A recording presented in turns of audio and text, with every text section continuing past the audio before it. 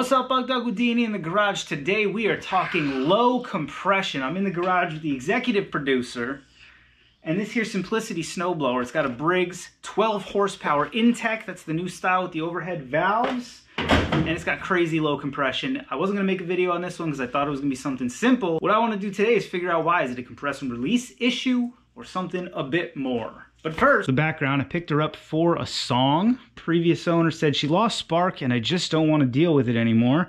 Uh, I brought it home and, you know, figured I'd confirm previous owner's observations and I couldn't. It, it immediately had spark, so that wasn't the problem.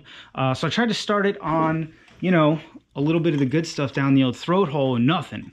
Uh, so I gave her a good spritzes of old reliable and, and nothing. Um, uh, so uh, decided to pull out the old compression tester here and when you when you bump the AC starter, now you see that little uptick at the end? Almost made me think like the compression release was stuck open and that's it closing. Um, I'm not really sure though. You can get it up to 60 when you crank it over by hand, but still not enough to get anything going. So I'm gonna tear open the top end. Let's see what the valves are looking like, if they're moving, if they're stuck, if they're bent, if they're dropped. So I figured if I gotta tear it all apart, might as well bring y'all with me. I'm gonna get into the valve train and then we'll take a look. Good gravy, friends. I'm glad I didn't waste too much time on the intro for this friggin' video. Pulled the valve cover off and that's what we're staring at. No big deal. Well, yeah, you know what? Yes, big deal. But what all that happened was the uh, the top end of the uh, valve rocker assembly came apart. So the um, Christmas. Push rod is no longer actually acting on the rocker arm, this threaded bit. So what I'm gonna do is find a diagram online to make sure I got all my parts, see if I can't figure out what went wrong here. It looks to me like this rocker arm's threaded and it this piece down here. Uh, so it looks like that threads into the rocker. Let's take over to the bench. Yeah, it looks like it's threading together just fine. Threads don't appear to be damaged. It literally just worked its way out. I can't figure out why that would be. Must have been loose from the factory. Gotta figure, right? I don't know. Help me understand, right, boys? Yeah, that's moving just fine.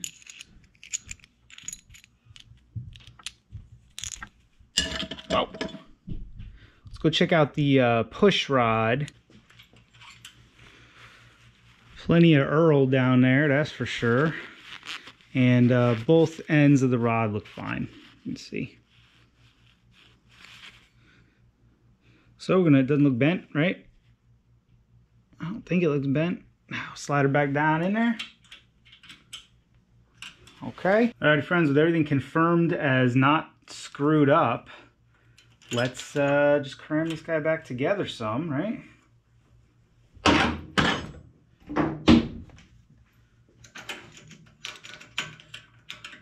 Make sure we get our push rod in there right. And then, oh, yep, make sure it clicks the bottom. Tighten this down some.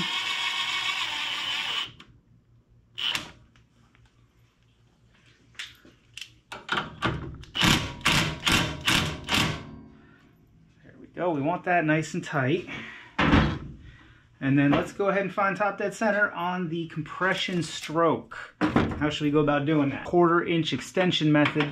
Put that guy down your old uh, spark plug hole there. And then you can see as the piston's coming up and down from all the way over here. All right, down and up. That seems like it's good enough for what we're trying to accomplish. Alrighty, friends, since we're here, let's start with the exhaust, supposed to be 5 thou, and it's pretty close a little, little over. I think we'll definitely adjust some, see if we can't get a little more drag out of it.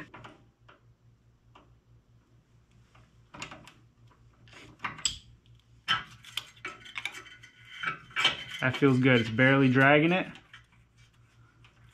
I like that. The intake is 3 thou. Surprisingly close from jump. Let's see if we can't lodge this in there, make it easier on ourselves.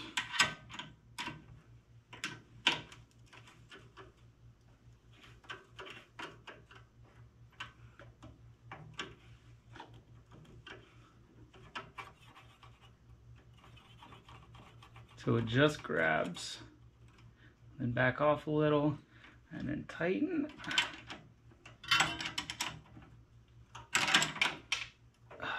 How'd we do? Nope, I think it loosened up. I'll bet that would run anyway. Let's see. See if we can tighten her an eighth of a turn.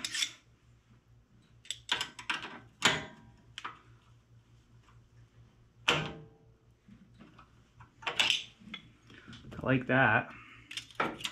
Ooh, I like that a lot. Feels good. You feel like just this little bit of resistance. Now, without further ado, make sure we've cranked all these down without tightening them more.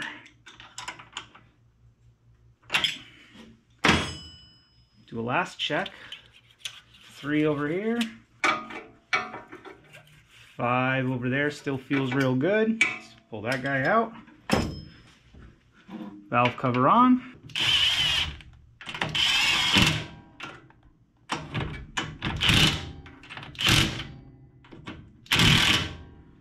Alrighty, friends.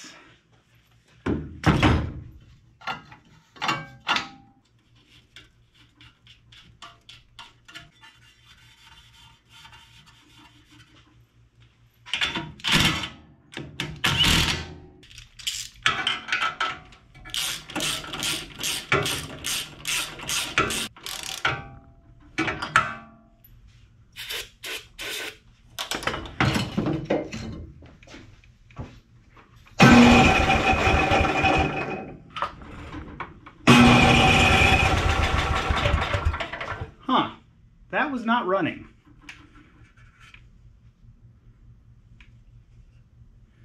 And I would have expected it to be running.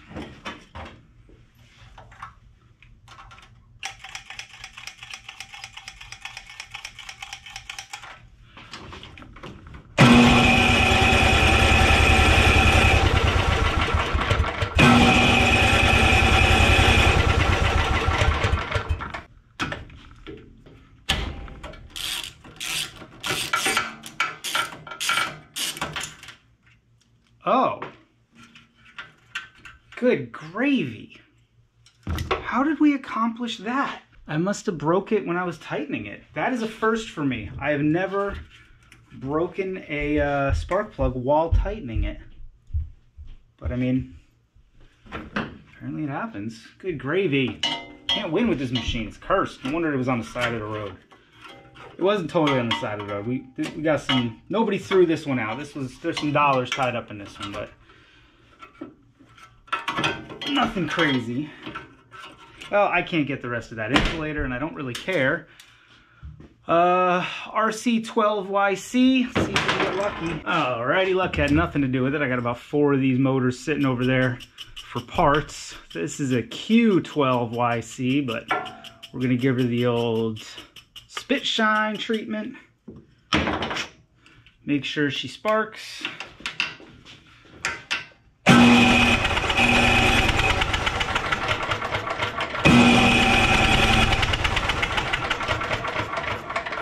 Which it does not.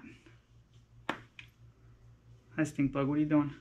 There we go. I have no idea if y'all can see that, but I can. I had it I had it off. You have to turn it on if you want it to spark. Who knew? We're figuring it out together though. There's a uh, ignition ground at the bottom of the throttle. That's if you see a throttle in the bottom of it's off, it just grounds out your ignition at the at the end of that throw. And that's where I had her sitting. I think I think we're gonna get her this time. We got a spark plug that's not broken. We've got valves that are gonna open assuming we have a piston that, you know, is one piece and not multiple little pistons banging around in there. I'm not doing a compression test first. Let's just do it.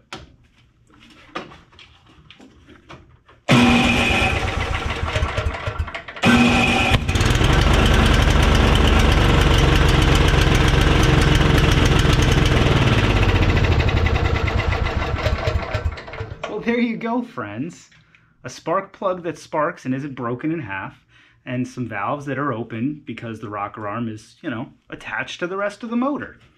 That's all it took. So if you got one of these Briggs Inteks that gets giving you trouble, highly recommend you pull her apart. This is not the first one I've seen that had some dumb little problem wrong with it. And it went out to the side of the road for it. And ultimately, would I spend an hour? Would have been less if I wasn't recording for y'all people. So leave me that comment down in the squawk boxes. What kind of issues have you had with these Briggs Intek? This is the 12.0. There's the 12.5, the 14.5, the 16, the 20. They put them in everything from blowers to tractors and, and everything in between. Um, so let me know what else you guys are seeing. If you like the video, like the video, subscribe to the channel. Maybe go check out our website, monkeywithatoolbox.com. As always, thanks for watching. See you next time. Hello. I when Daddy was working, I found some stuff and it's gold. But this is more shinier and I want to share it with people and I want to share it with you in the video. Those are the treasures you found in the garage while I was working. Yeah. Anything good? Yeah. Put yourself through college with some of that? No. Oh, that's a grade 8 bolt. Got a nice split washer there. Here's a battery for a watch or something. Bet you that still got some juice in her. Real good, kid. Thank you. Absolutely. You got to start collecting sometime. Might as well be now, right? Yeah.